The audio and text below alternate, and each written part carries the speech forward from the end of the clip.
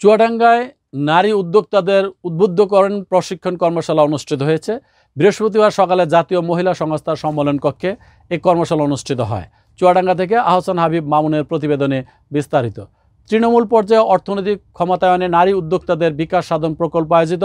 কর্মশালায় প্রধান অতিথি ছিলেন চুয়াডাঙ্গাস্থ ফার্স্ট ক্যাপিটাল ইউনিভার্সিটির ভাইস চেয়ারম্যান ও জেলা আওয়ামী লীগের সাবেক যুগ্ম সাধারণ সম্পাদক রিয়াজুল ইসলাম জোয়ারদার টোটন।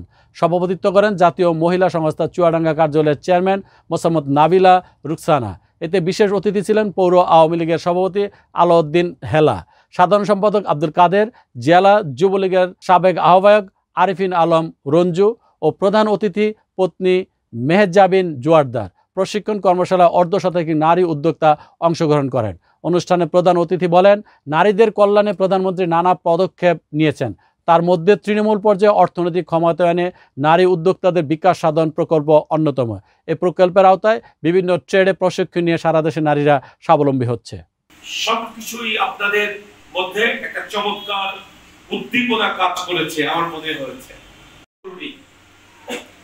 জরুরি না এই জন্যই যে জাতি যত শিক্ষিত, সেই জাতি তত সমৃদ্ধ।